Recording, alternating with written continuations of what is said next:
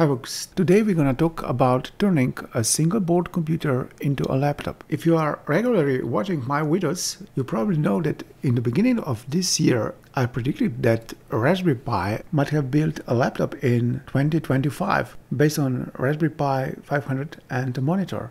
Instead, uh, we've recently got Raspberry Pi 500 Plus with an illuminated keyboard. However, the New Year's time is coming and Raspberry Pi might be keen to introduce a new computer model. A laptop would have opened a whole range of new uses for Raspberry Pi 5 architecture. There are a number of experimental laptops built on Raspberry Pis. However, a very practical ultra-thin laptop requires a completely different approach. I've decided not to theorize, but to rather find a competitive design that already works. Musebook is made by SpacemiT and it is a full-blown laptop. It combines a single-board computer architecture with a monitor, keyboard and a touchpad. There is also an expansion port, which is a unique feature amongst laptops and a must-have on a Raspberry Pi like single-board computer. Let me show you how easy it is to use general-purpose input-outputs on Musebook. First, you have to install Python libraries and then it's all very simple. You go to developers web page, you search for GPIO documentation and then uh, you have a very simple sample if you just want to turn on and off one control bit.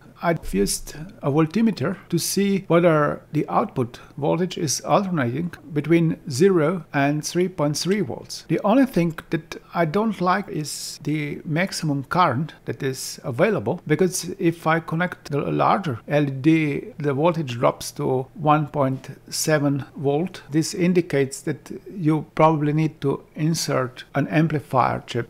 An important feature of a laptop is also a lithium battery, which provides at least a few hours independency from the electric grid and prevents a loss of data and an accidental restart during and after a power outage. A fast processor with an advanced graphics core and an SSD drive are also a must for every modern laptop. Musebook is based on RISC-V K1 system on chip which not only provides a powerful 1K graphics but it also introduces 2 tera operations per second AI capability. In the previous videos we have already mentioned two Orange Pis designs based on K1 system on chip. 8-core K1 system on chip with a graphics core represents a powerful alternative to x64 and ARM64 architectures. You can plug almost any USB device into Musebook and it's gonna work like an USB camera, a mouse, a USB hub, a data key, a number of USB sound cards, and they all gonna work within volume control, and you'll be able to control each of them separately. You can also plug in your smartphone, not only to copy data, but also to use it as an RNDIS device to provide an internet connection.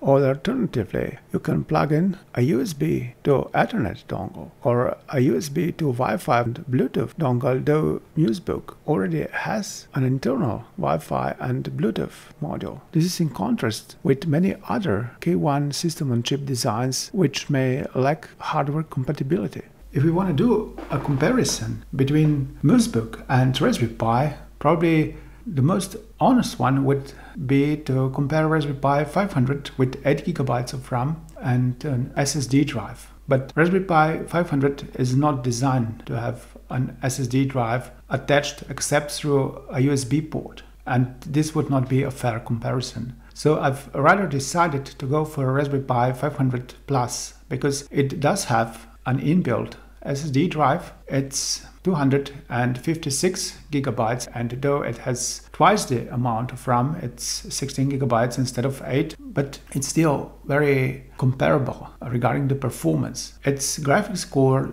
supports 4K graphics, but this doesn't mean that it's much faster than K1's graphics core, which only supports 1K graphics. Musebook has an inbuilt 1K monitor, so a 4K graphics would have only been available on an external 2K or 4K monitor. I wanted to know what it takes to make Raspberry Pi 500 Plus work without a power grid. So I bought myself a 10 ampere hour power bank, which is capable of the maximum current of 4.5 ampere at 5 volts. This is right on the margin to make Raspberry Pi 500 with a similar configuration to MuseBook work without restarting when running Raspberry Pi OS Trixie, Windows 11 or Android 16 operating systems. Besides Raspberry Pi 500 and Raspberry Pi monitor, my configuration included Raspberry Pi mouse, a small USB web camera and a simple USB sound card that needs no device drivers.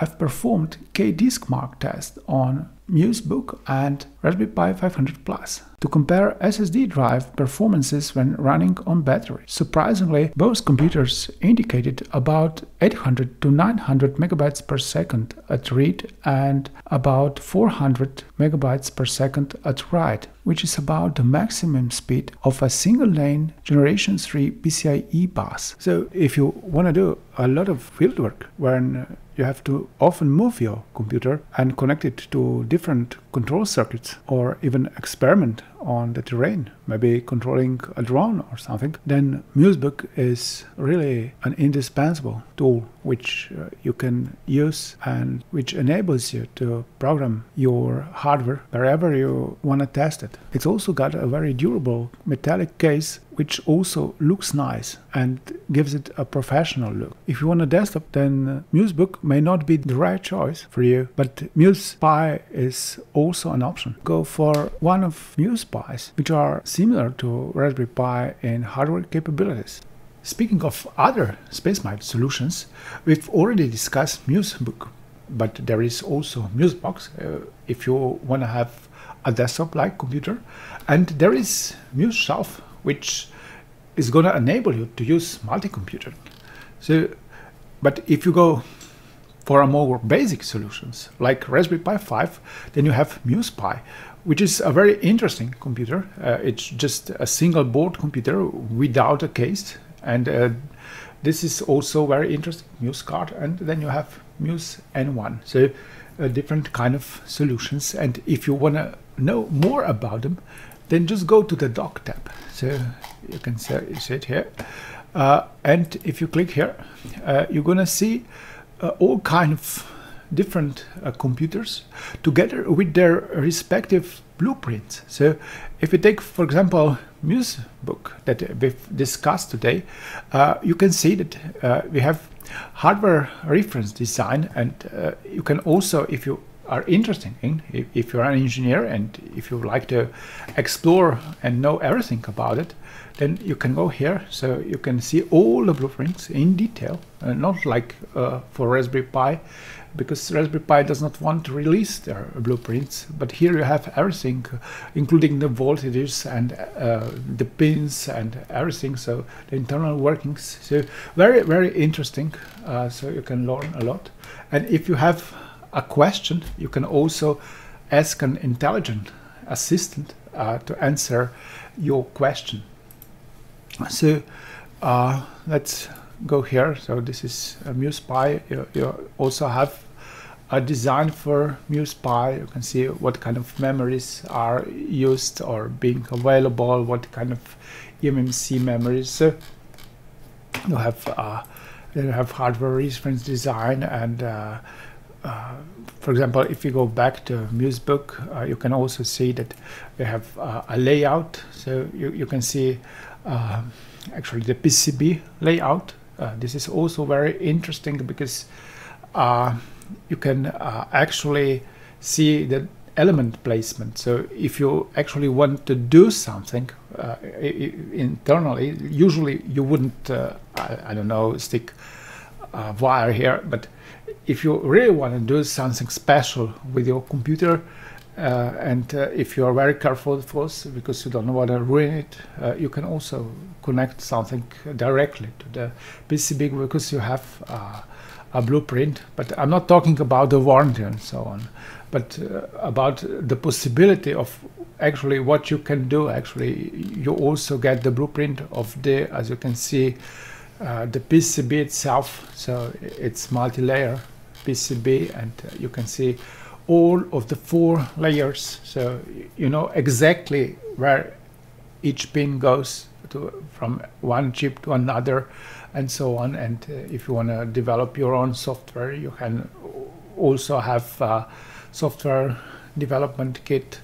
So really a lot of stuff uh, to study to work on uh, so if you've liked this video, please press like and subscribe buttons and don't forget about the notification bell. If you really, really like it, then hype it as well. See you in the next video. Bye.